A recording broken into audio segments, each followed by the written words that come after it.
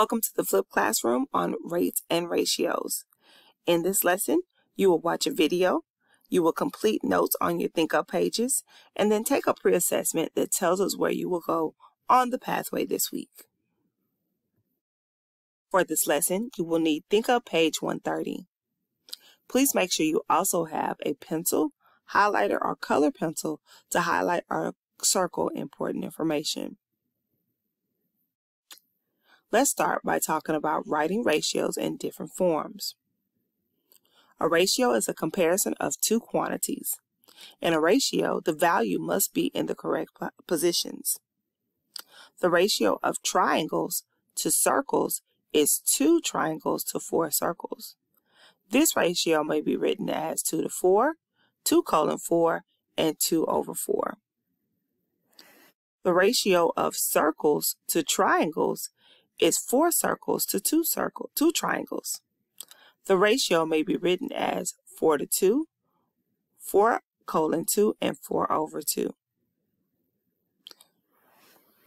You can also discuss writing equivalent ratios. In order to write equivalent ratios, you would do that as you would write equivalent fractions.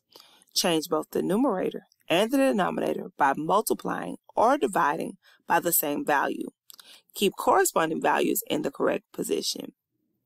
Let's write two ratios that are equivalent to the ratio two triangles to four circles. Two triangles to four circles is the same as 12 triangles to 24 circles. We know that because we can multiply 2 times 6 and 4 times 6 to get 12 over 24. Let's try two triangles over four circles and one triangle over two circles. We can get this equivalent ratio by dividing by 2. 2 divided by 2 is 1 and 4 divided by 2 is 2. 2 to 4 is equivalent to 12 to 24 and 1 to 2. Now it's your turn. Pause the video and answer the questions accordingly. Number one, write the ratio of circles to triangles using words. Pause the video and answer the question. When we write this ratio, we're going to write circles to triangles. Remember that order matters. So that's one circle to three triangles. Write the ratio of circles to triangles in three different forms. Pause the video and write that information down. There are three ways to write the, the ratio. If we're doing circles to triangles, we will 1 to 3, 1 colon 3, or 1 over 3. Remember, you can write ratios as a fraction using the word to or using a colon. Write the ratio of triangles to circles in words. Pause the video and write this information down.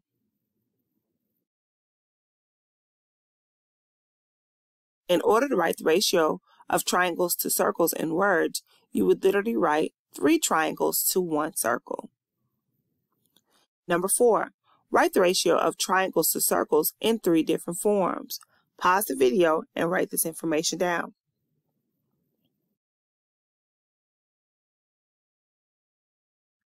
We know the ratio for triangles to circles is going to be 3 to 1, 3 colon 1, or 3 over 1. Now, let's use the table to answer questions 5 through 8. The table shows the relationship between the lengths and widths of four rectangles. Write a ratio that describes the multiplicative comparison of width to length. Pause the video and write that information down.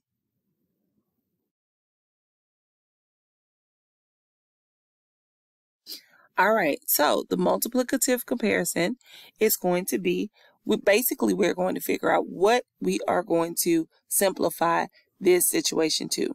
Remember that order matters and we're comparing width to length. So if I compare 6 to 8, that can simplify to 3 fourths. The multiplicative comparison is 3 fourths. Write two e additional equivalent ratios not shown in the table. Pause the video and write down some options. All right, here are some options that you can use as equivalent ratios. Your answers may vary, but please make sure that it simplifies to the same problem.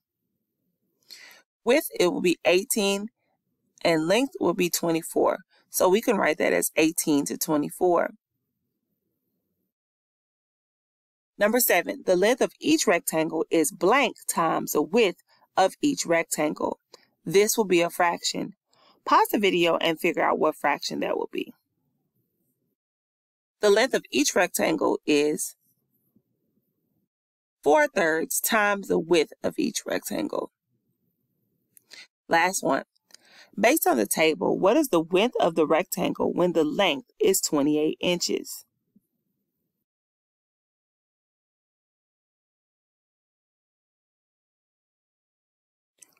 We know that the length of the of the rectangle is 28 inches, so the width would be 21 inches.